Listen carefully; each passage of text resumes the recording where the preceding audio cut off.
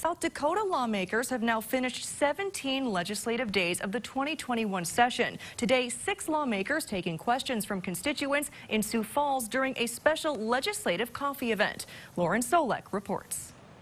A number of topics were covered at the first legislative coffee hosted by the Greater Sioux Falls Chamber of Commerce this year. Why not support Senate Bill 146 to allow parole eligibility at age 50? We need to take care of our veterans and uh, recognize what they've done for us in our country. Because I, I do believe that our prisons, um, criminal justice system is, is overrun. Do you support a 3% increase to help our schools? The Chamber is hosting three such events this year to give people a chance to ask their legislators questions about issues.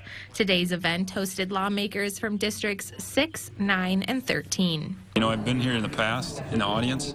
Um, this is obviously my first time as a legislator, but uh, it's it's different, but it's it's a good good experience as well. There's a lot of the bills that are brought up at these kind of coffees that I haven't had time to research or haven't heard of, and so it brings uh, some knowledge to me on those bills, and it's great because uh, people have been just, uh, you know, really fantastic on bringing some good issues, and and I learned from my other uh, representatives and senators that are here. Topics covered at the legislative coffee included the death penalty, funding for education, and Medicaid expansion.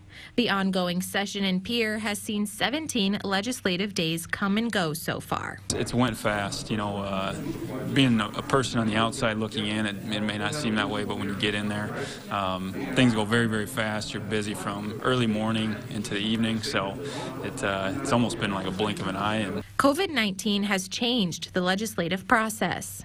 It's, it's a different session, uh, and I'll just be honest with you. With the COVID pandemic, and and uh, we don't get to see the people that we like to see. People are not coming out to Pierre like they, they would normally. There are now 20 legislative days left in the session. This last week it got pretty busy. Um, it's, I know it's going to get more so, but uh, I think some more interesting bills will be coming up. And, uh, you know, I know there are a few that strengthen uh, what, what I call federalism, um, just strengthening our state as a whole, uh, making South Dakota a better state overall. So, so we're getting some excess money to spend, what we call one-time funding, uh, and that's I'm really excited about looking forward to that.